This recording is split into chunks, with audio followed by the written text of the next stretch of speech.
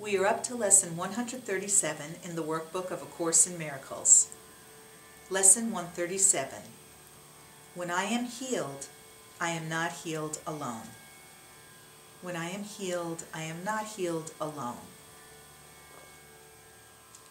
Today's idea remains the central thought on which salvation rests. For healing is the opposite of all the world's ideas, which dwell on sickness and on separate states. Sickness is a retreat from others and a shutting off of joining. It becomes a door that closes on a separate self and keeps it isolated and alone. Sickness is isolation, for it seems to keep oneself apart from all the rest, to suffer what the others do not feel. It gives the body final power to make the separation real and keep the mind in solitary prison, split apart and held in pieces by a solid wall of sickened flesh, which it cannot surmount. The world obeys the laws that sickness serves, but healing operates apart from them. It is impossible that anyone be healed alone. In sickness must he be apart and separate. But healing is his own decision to be one again and to accept his self with all its parts intact and unassailed. In sickness does his self appear to be dismembered and without the unity that gives it life. But healing is accomplished as he sees the body has no power to attack the universal oneness of God's Son. Sickness would prove that lies must be the truth. But healing demonstrates that truth is true. The separation sickness would impose has never really happened. To be healed is merely to accept what always was the simple truth, and always will remain exactly as it has forever been. Yet eyes accustomed to illusions must be shown that what they look upon is false. So healing, never needed by the truth, must demonstrate that sickness is not real. Healing might thus be called a counter dream, which cancels out the dream of sickness in the name of truth, but not in truth itself just as forgiveness overlooks all sins that never were accomplished. Healing but removes illusions that have not occurred. Just as the real world will arise to take the place of what has never been at all, healing but offers restitution for imagined states and false ideas, which dreams embroider into pictures of the truth. Yet think not healing is unworthy of your function here for Antichrist becomes more powerful than Christ to those who dream the world is real. The body seems to be more solid and more stable than the mind, and love becomes a dream, while fear remains the one reality that can be seen and justified and fully understood.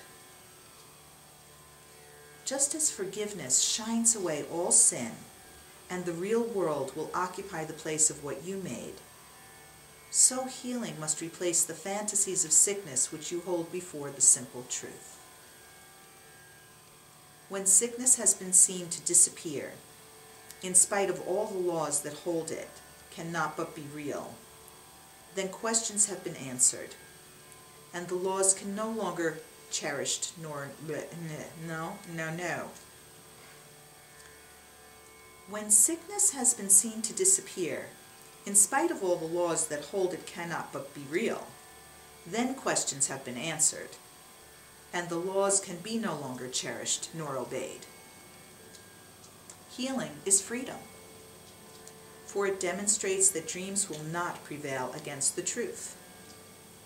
Healing is shared, and by this attribute, it proves that laws unlike the ones which hold that sickness is inevitable are more potent than their sickly opposites. Healing is strength, for by its gentle hand is weakness overcome. and minds that were walled off within a body, free to join with other minds, to be forever strong. Healing, forgiveness, and the glad exchange of all the world of sorrow for a world where sadness cannot enter are the means by which the Holy Spirit urges you to follow Him. His gentle lessons teach how easily salvation can be yours. How little practice you need undertake to let His laws replace the ones you made to hold yourself a prisoner to death.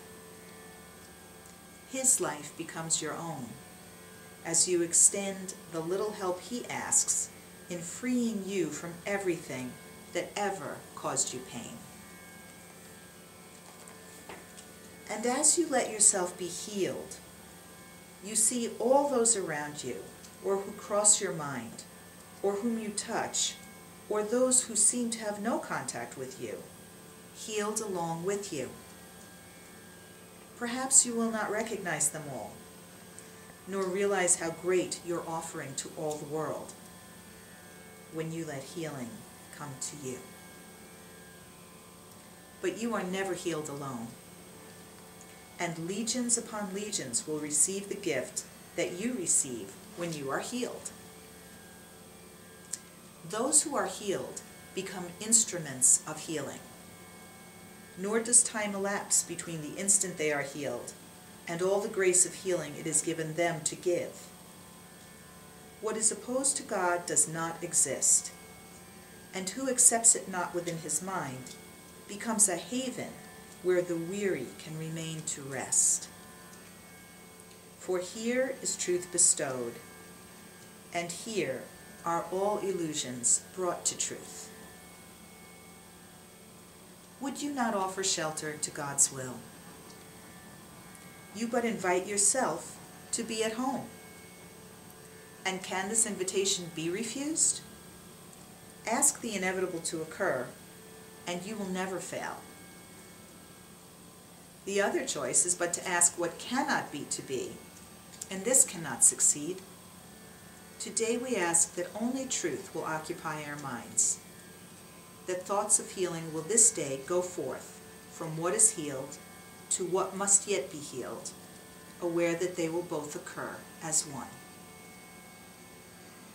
we will remember as the hour strikes, our function is to let our minds be healed, that we may carry healing to the world, exchanging curse for blessing, pain for joy, and separation for the peace of God.